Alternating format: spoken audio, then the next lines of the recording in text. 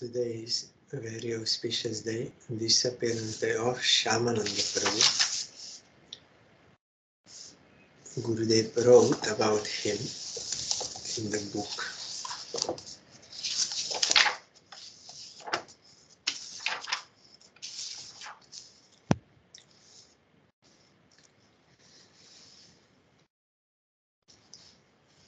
He appeared in, I will just go summary. He appeared in Midnapur.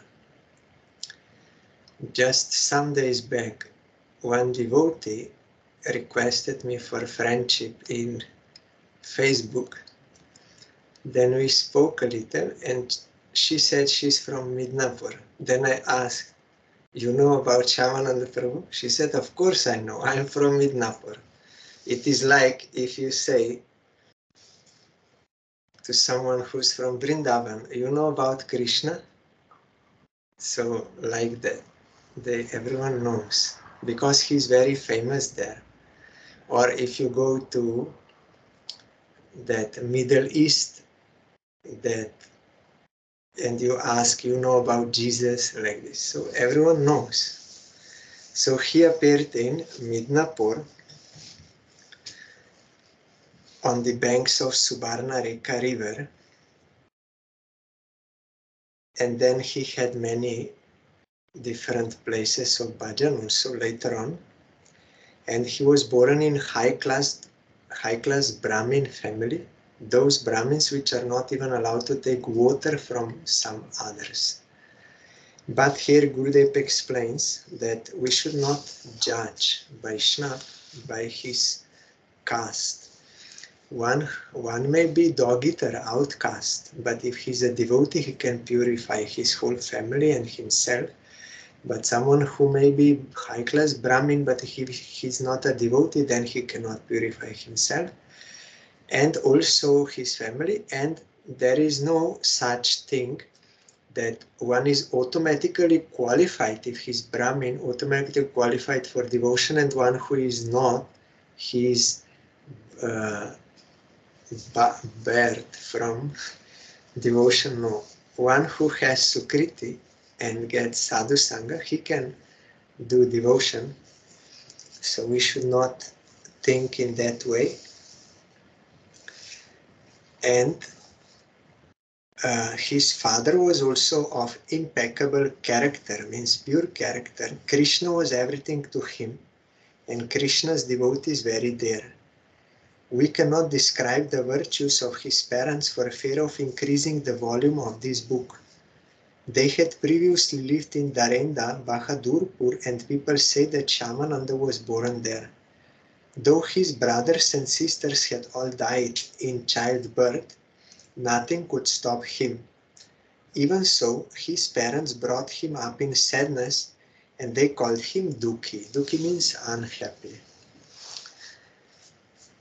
Shyamananda Prabhu's parents performed an appropriate rituals when their time came such as the first eating of solid food and the cutting of hair.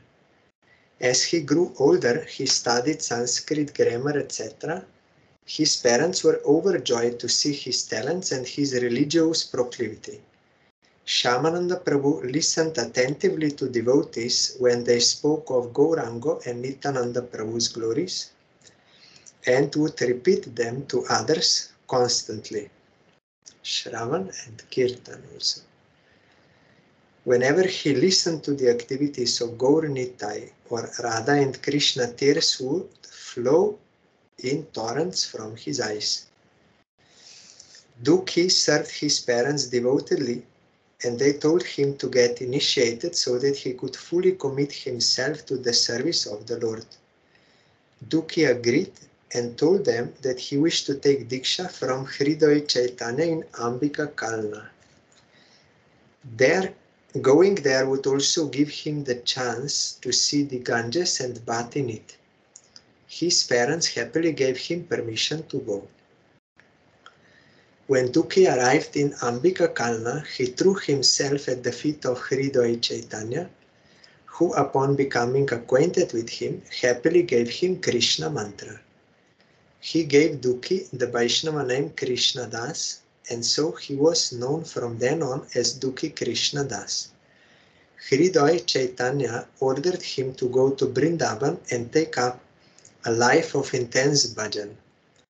Though Dukhi Krishna Das did not like being separated from his Gurudev, following his order he set off for Braja, first visiting Navadip and other places in Gauramandal, where he sought the blessings of the Vaishnavas. Order of Guru means bhajan.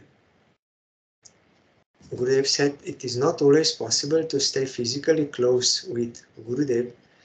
If he gives order for some service, then by following that order, you will actually get association of your Gurudev. Gurudev gave example. He was ordered to go to Puri to recover that place of Prabhupada. So he could not stay close with Gurudev, but he had to follow his order. That is actual uh, point. So after spending much time on pilgrimage, he finally arrived in Brindavan, where he became completely absorbed in the worship of Sri Radha Shamsundar. This is the one of the seven most famous temples in Brindaban. Uh, that deity was given to him by Radharani, that Shamasundar deity. And this is also the famous, not famous, favorite name of Radharani for Krishna, Shamsundar. If you go to that temple, there is also now they opened behind there is that cave where Shyamananda Prabhu used to do bhajan. You have to go down by the stairs. It is narrow.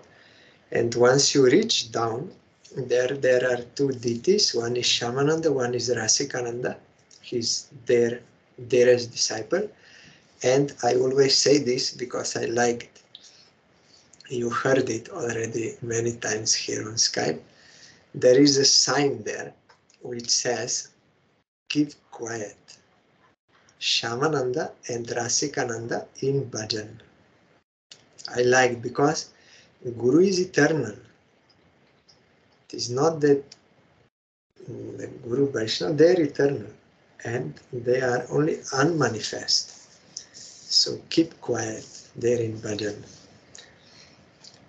In Brindaban, Dukhi Krishna Das studied the Vaishnava scriptures under Sri Jiva Goswami who was the leading scholar of the Sampradaya. When Hridoy Chaitanya heard of the enthusiasm with which Dukhi Krishna Das was leading the devotional life in Braja, he wrote a letter to Jiva Goswami in which he said that Jiva Goswami should accept Dukhi Krishna Das as his own disciple. Uh, like a Shiksha disciple, Guru, Diksha Guru will approve. Uh, like Mahaprabhu put Raghunath Das Goswami under Sarup Damodar. So then it is approved.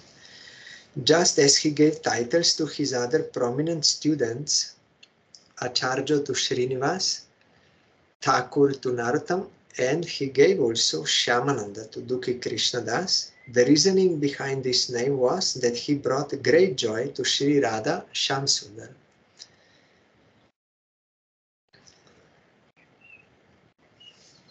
And then you also know, after they completed their study of all the scriptures of the Goswamis, then Jiva Goswami sent them, all three, to Bengal to preach those books. So, and he told them, be very careful. They are very valuable, these books, should not be lost. But you know the story. They were very careful when passing through Muslim countries, but they were not sleeping during night. And but when they came to Hindu, they thought here it will be okay. So they took rest, but you know that king was a robber and he took. Later on, Srinivasacharya, he got back those books and also graced that king. He became devotee and many others there. So Shyamananda Prabhu then went to Orissa that time to preach when the books were stolen and Srinivasa Acharya said, I will stay here, you go. That time Shyamananda went to Orissa. And then also here Gurudev mentioned that Hriday Chaitanya was a disciple of Gauridas Pandit. He's a Subal Saka in Krishna Lila. So they are worshipping in Sakya Rasa. And Shyamananda Prabhu also in the beginning was worshipping in Sakya Rasa. But when he associated with Jiva Goswami, who is a Manjari, then he developed that desire to serve in conjugal mood. Uh, and this is not an offense, it is just further improvement because that Sakya Bhav is also included in Madhurja. Those qualities of Sakya are there and something more. And one day also, Shyamananda Prabhu was sweeping the Rasa Mandal area where Rasa Lila is going on, and he found that Nupur means ankle bell of Radharani. And out of respect, he put it on his touching to his forehead, and there it left some mark and did not go off because that was to be his now tilak. So they are using that type of tilak. It is called Nupur tilak. In his spiritual family, they are using that tilak. And Gurudev mentioned that Srinivasacharya, he preached by giving Harikatha on Bhagavatam and also Kirtan. And Narottam Thakur and Shyamananda, they preached through Kirtan, wrote many songs, or they sang those which were already written by the Goswamis, and through that they attracted jivas to accept the service of Krishna. They, they had heartfelt singing. And as a result of Shyamananda Prabhu's preaching in Orissa, many Muslims also became his disciples. Because Jiva Sarupvai Krishna Nitadas, all Jivas in their real self, they are eternal servants of Krishna. These are only coverings. So when one comes in contact with real devotee, then that natural attraction, devotion to Krishna will be awakened in the jiva the most important of his innumerable disciples was Rasika Murari or Rasikananda. Rasikananda was the son of Achyutananda, the Zamindar of Rohini village. So about him also we heard biography. And there are some other prominent disciples of Shyamananda Prabhu. Their names are given here. Shyamananda made disciples all over the place. A person can be purified by hearing their names. Radhananda, Purushottam, Manohar, Chintamani, Balabhadra, Jagadishwar, Udava, Akrur, Madhuvan, Govinda, Jagannath, Gadadhar, Ananda, Ananda, and Radha Mohan. Shyamananda was constantly immersed in the joys of Kirtan in the association of these disciples. Poets have described his wonderful pastimes for the pleasure of everyone. They are all pure devotees, so together, unitedly, they are singing the glories of Krishna and getting transcendental bliss. And another of Shyamananda Prabhu's notable disciple was a yogi named Damodar, whom he converted to Vaishnavism. Narahari Chakravarti has written the following account of that conversion. Shyamananda mercifully flooded the yoga practitioner named Damodar with devotional rasa. After becoming his disciple, Damodar constantly cried and chanted the names of Nitai Chaitanya, who could remain untouched by his ecstatic absorption. He danced, crying out, Bhakti is the best of all, because he tasted. After delivering Damodar, Shyamananda continued to travel about, distributing the jewel of devotion to everyone. Devotee can awaken others. Our Tapasya Maharaj also was mercifully graced by Parangurudev. He was a great Hatha yogi before, but by getting the grace of Parangurudev, he became devotee. And then you saw how enthusiastically he was doing Nama Sankirtan.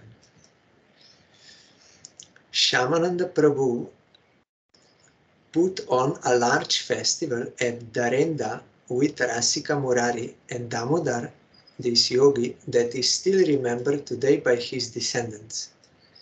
When he left the world, Shyamananda Prabhu turned over the service of Sri Govinda at Gopi Balapur to his dear disciple Rasikananda Dev Goswami. Shyamananda Prabhu's disciples and their descendants still worship his deity Radha Shyam Sundar in Brindaban. This temple is still one of the principal pilgrimage sites in Brindaban. Shyamananda Prabhu lived the last part of his life in Rishingapur in Orissa, where he continued preaching Vaishnavism. His earthly pastimes came to an end on the first day of the waning moon in the month of Ashar in 1631, our counting. This means on today's day. To preserve his holy memory, the branch of the Gauriya in Midnapur city was named Shyamananda Gauriya. It was established by our Parangurudev, Srila Shanta Gosai Maharaj and Srila Bhaktivichar Jajavar Gosai Maharaj together. That is the place where our Gurudev took Harinam initiation from Parangurudev. And for three days he was in ecstasy, not aware of external world. Then one day at 1 a.m. he knocked on the door of Parangurudev and Parangurudev was surprised. He came out. Then Gurudev fell flat and said, Gurudev, what kind of mantra you gave me? Like Mahaprabhu said to his Guru there. So those who are pure, they can get that prem by chanting. No offenses, no, they, they, then they can get that. We can get gradually by practicing. So this, I mentioned this devotee, I asked her, you know about this math? She said, yes, I know. But it is little far from where I'm staying. I go there once in a month. The shaman of the Gauriya Math. So I'm going down to Shyamananda Prabhu, remembering his deity there in Radha Shamsundar in Vrindavan, his Bhajan Kutir cave, going down and praying for his causeless mercy, this jewel of devotion to Supreme Lord. This, I pray, this.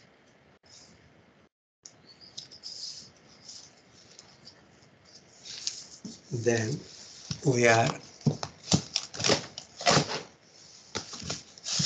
hearing Bhagavad Gita.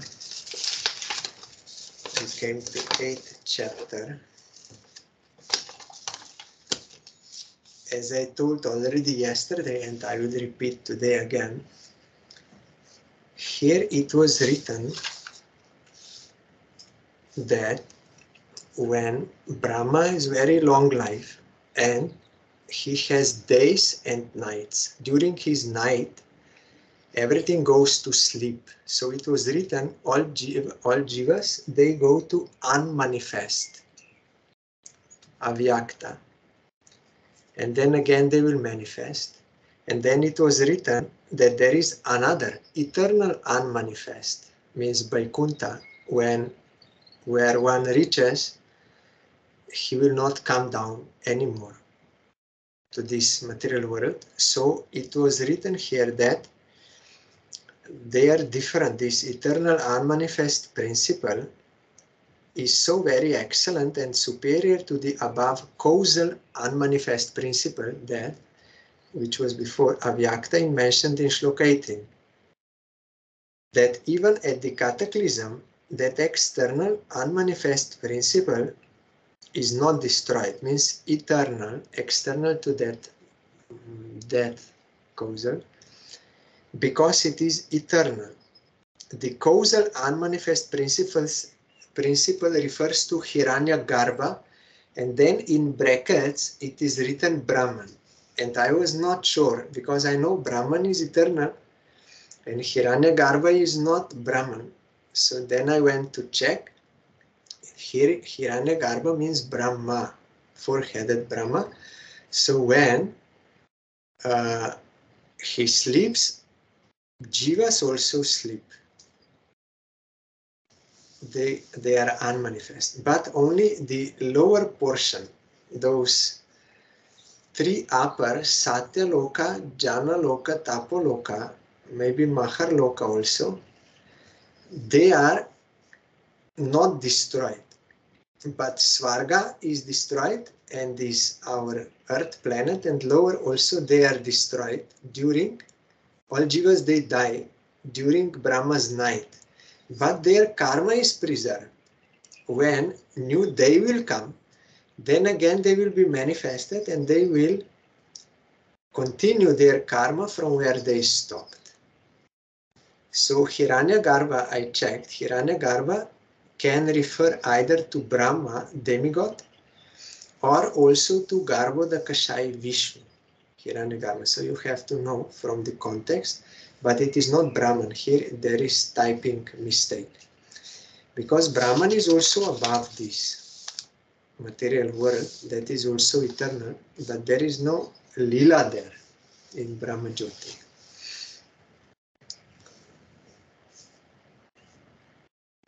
Yes, so that eternal unmanifest principle is known as Akshara, means Supreme Lord, and his abode is non-different from him, Vaikuntha, no limitation, no anxiety.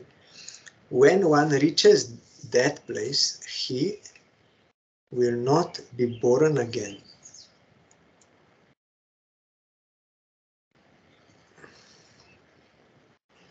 That Param Purush, the presiding deity of that eternal blissful realm, is attainable by unswerving single-minded devotion. O Partha, all beings sentient and insentient exist in him and he exists in them as Antarjami, means Paramatma. He is also known as the all-pervading Paramatman. And then Krishna told that there are two timings when one will give up his body.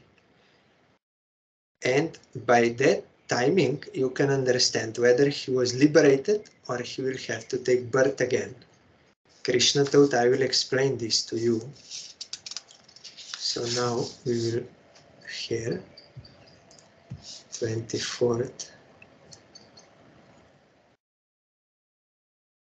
अग्निर्ज्योतिरः Shukla सान्मसा उत्तरायणं तत्र प्रयात गच्छन्ति ब्रह्म ब्रह्म विदो जनः Those who are versed in the knowledge of Brahman attain to Brahman. If they breathe their last at the time of Agni and Jyotis, the presiding deities of fire and light.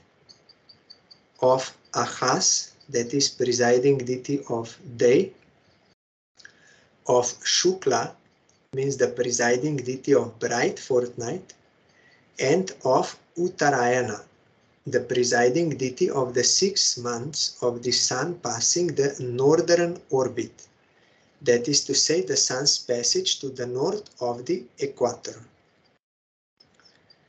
Explanation. It means that a yogin attains Brahman and is never subject to rebirth when there is a coincidence of any of the principles of Agni, Jyotis, etc., with the cheerful disposition of the mind of a yogin at the time of his death. Uttarayana means the sun's passage in his northern course for six months from 22nd March to 23rd September and Dakshinayana means the sun's passage in his southern course for six months from 24th September to 21st March. Hmm. They can be, yogis, they can be in cheerful disposition of the mind because they already are above misidentification with this body and mind. They are in their real self. So they are always blissful. And for them, giving up this body is like putting off cloth. It is not uh, troublesome for them.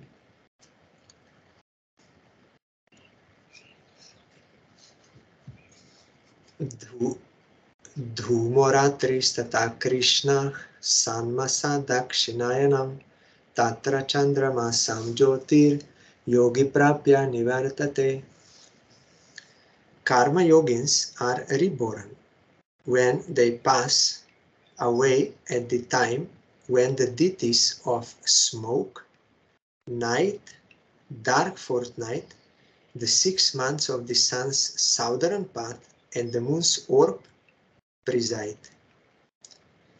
So those who are devotees and gyanis, they are already transcendental but karma yogins are not yet, so they will have to take another birth. Explanation After enjoying their heavenly pleasures for a certain period as a result of their pious deeds, karma yogins are bound to be born again at the expiry of their virtues. Here, further, the bright six months of Uttarayana are compared to the fully Brahman realized state of mind of a yogin, while the dark six months of the Dakshinayana are compared to the state of mind of a yogin steeped in the gloom of nations.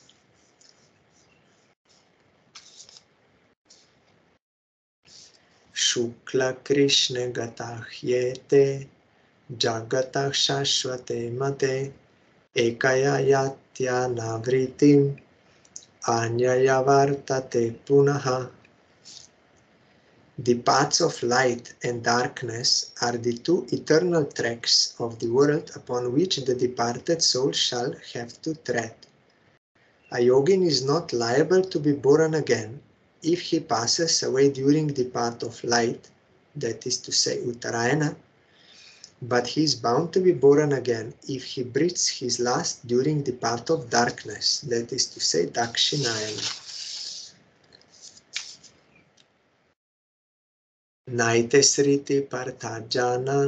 Yogi muhyati kaschana tasmat sarveshu kaleshu yoga yukto bhavarjuna.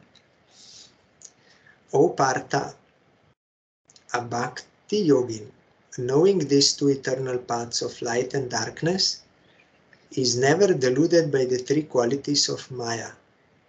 Therefore, O Arjuna, be a follower of the cult of pure bhakti at all times and under all circumstances. Explanation The bhakti marga or unsullied devotional path transcends the above two paths of light and darkness. He who knows this distinction and takes recourse to Bhakti Marga is never deluded by the three qualities of Maya. and hence is not subject to birth and rebirth. O Arjuna, just ponder over the troubles and tribulations that beset the other two paths, viz. jnana, that is to say the path of light, and karma, the path of darkness, and follow the cult of pure bhakti, unconditionally and unreservedly at all times and under all circumstances.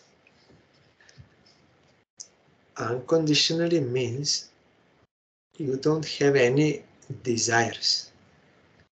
Like, I will worship Krishna with this condition, I should get this. Some worldly facility or name and fame or money or something. So that is conditioned.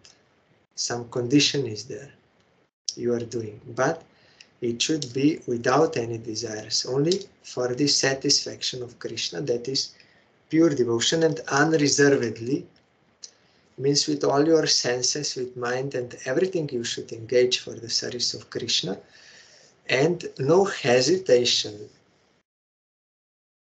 uh, you are not holding back, but unreservedly, without hesitation, without any reservation, you engage yourself fully for the service of Krishna, knowing I am of Him.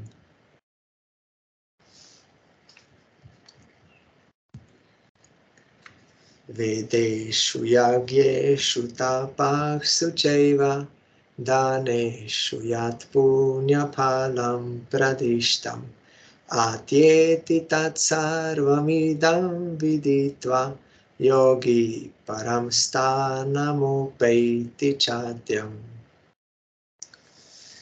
The Bhakti Yogin, knowing the good results accruing from the study of the Vedas, the performance of sacrifices, austerities, and largesses, remains unconcerned in and indifferent to all this and attains to my blissful realm, the ultimate goal of pure devotion. So he knows, but he's not concerned with that. His only concern is to serve Supreme Lord for his satisfaction. Explanation O Arjuna, if you strictly follow the Bhakti Marga, you will never be deprived of any fruits accruing from the study of the Vedas, the performances of sacrifices, austerities, largesses, this I don't understand, lar,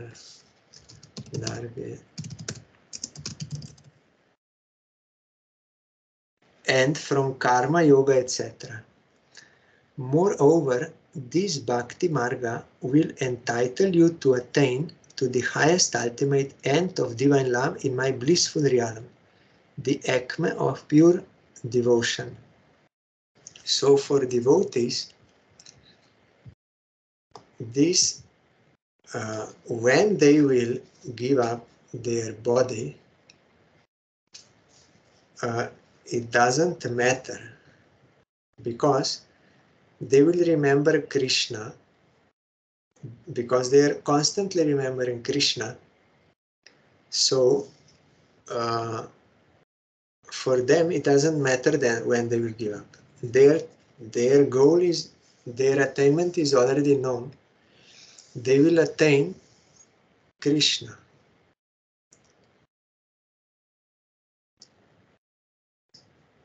Gist of this chapter this chapter describes the super excellence of unalloyed devotion and the attainment of the eternal realm whence, when, as said, no traveler ever returns. We read this as Kohn said, like settled there.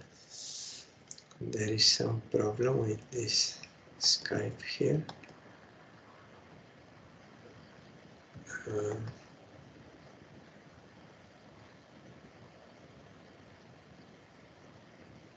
largesse largesse means money or gifts given generously. Generosity in bestowing money or gifts upon others. So it means like that done. The devotees they also know about the utility of done, charity. But as we heard, when Parikshit Maharaj, knowing that he will die after seven days, he came to the bank of Ganges and inquired, What is my duty now? So, first, one sadhu there gave him advice You are a king, so you do done, you give charity. Then you will get. Another said, No, there is no time, only seven days' time. How he will do charity in such short time? he said you, he should do sacrifice. Then another said, no, there is no time. How he will do sacrifice? He should do gyan. He should study the, the Upanishad and meditate on Brahman. Then someone said, no, there is no time. He should do yoga, pranayam and this. And they give different proposals and he was confused and he also thought if I will accept one, then another sadhu will become displeased with me. So then he thought, I belong to Pandav family. Krishna is fond of Pandavas. He has grace on them. So based on this, I will pray for the grace of Supreme Lord. You kindly please show me what I have to do so he prayed, and immediately Krishna sent Shukadev Goswami there, his own person. When someone takes shelter of Krishna, wants to serve him, then Krishna will send his own person to give us that service. But unless this desire is there, this Sukriti is not there, then it cannot happen. You cannot find bona fide guru by searching and by, by like this you have to be ready. Then he will be revealed to you by the grace of Krishna. Krishna in the form of Guru will come. Uh, so then Shukadev Goswami said, no, you need not do any of not do any of this. You just hear about Krishna. I will tell you that you will get all perfection. So here devotee knows about study of Veda, sacrifices, austerities, charity, all he knows, but he is not concerned with that. He is concerned with pleasing Krishna, and by this devotional service, he can attain blissful realm of Krishna. Then there are questions in this chapter. Uh, then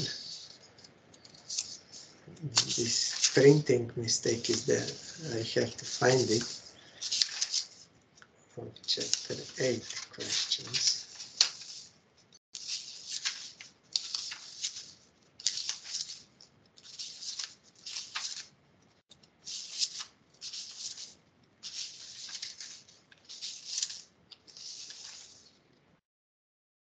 Hmm.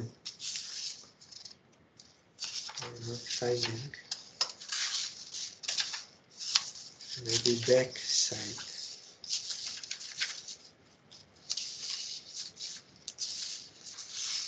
At the end of seventh chapter, maybe.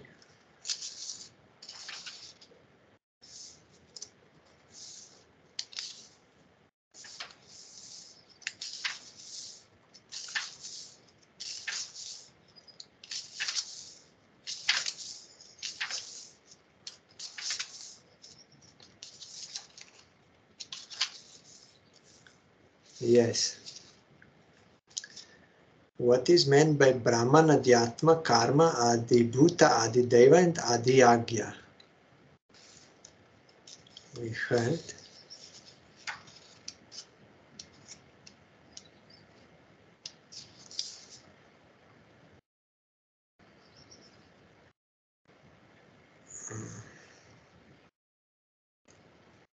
It's chapter 9.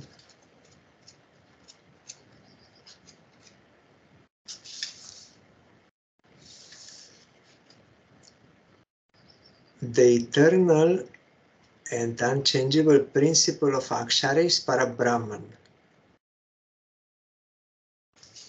That is Brahman. Eternal and unchangeable principle is Parabrahman, the Supreme Personality. Jiva, devoid of all worldly dross, is known as Adhyatma. The principle of gift and sacrifices as gift, this is charity and sacrifices resulting in the production and growth of all beings sentient is designated as karma. And then Adibhuta means the changeable and perishable that is Adibhuta. Adideva means the universal Virat Purusha, or the presiding deity of the gods and of the senses. Adi Agya refers to the indwelling guide of the jivas known as Antarjami, means Paramatma. Yes, this. Next question. What is the result of recalling the Lord and uttering of pranava at the time when one breathes his last? he will not be reborn, he will be liberated. So here in Shloka 5, yes, he will attain Krishna.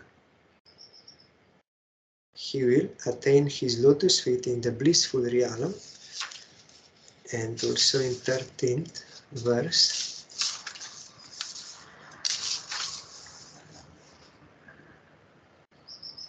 yes, he will attain the lotus feet in the blissful realm. What is the next question? What is the cause of attaining different bodies and different regions when one breathes one's last? That is, I think, whatever one thinks at the time of death. In Shloka 6. Yes, what you think at the time of death, that you will attain, that sort of body. Or if you think of Krishna, then you will attain him. And here Bharat Maharaj is famous example. He was thinking of deer, then he became deer.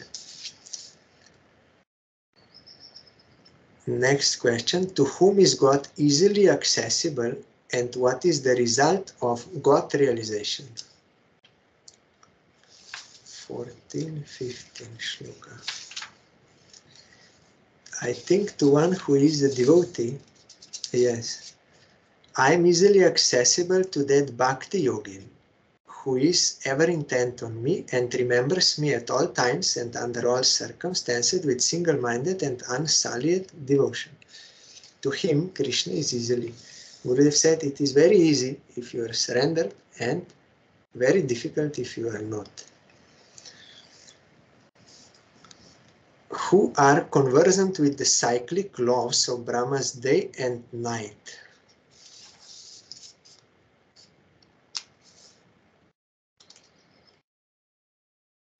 Those who know that Brahma's day is thousand Chatur Yuga, four ages together, and one Brahma's night is also thousand such four ages. They know about this cyclic laws of Brahmas, day and night. What is the distinction between Uttarayana and Dakshinayana? We just heard when sun is above equator, that is light, and when he's going down for those six months, that is Dakshinayana.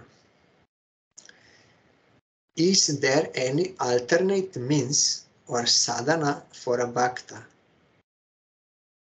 What is the acme of pure devotion? We just heard no, no alternate means. They will not do anything. Those sacrifices, charity, no. They will only do devotion to Krishna and acme of pure devotion means they will attain the service of lotus feet of Krishna in his blissful realm. And there are nine forms of devotion if one is surrendered, in the Shravanam Kirtanam. So nine, you know, and one can practice only one or many of them. Shukadev Goswami did only Kirtan, Parikshit Maharaj only Shravan. But surrendered. Surrendered means I am of Krishna. I am doing this for his satisfaction. And Prahlad Maharaj only remembering and but Ambarish Maharaj did all nine. And these nine, they are further divided into 64. Rupa Goswami described in more detail. So following Ekadashi is one of limb of devotion. And but in this Kali Yuga, one has to do Nam Sankirtan to get the ultimate goal. Harer Nam, Harer Nam, Harer Nam, Eva Kevalam. Kalo Nasteva, Nasteva, Nasteva Gatiranyata. Without Harinam, no one can get the ultimate goal in Kali Yuga. Jiva Goswami said, it is proper to do other devotional forums also, but you should do it with Nama Sankirtan.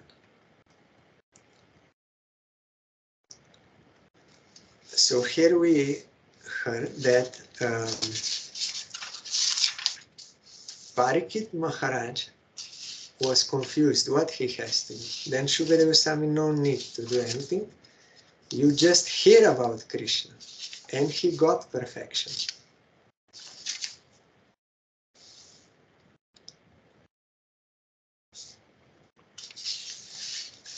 So tomorrow we will hear next chapter, ninth, but there is again this uh, printing. I will have to find tomorrow. There was some printing uh, pages uh, there I will find tomorrow.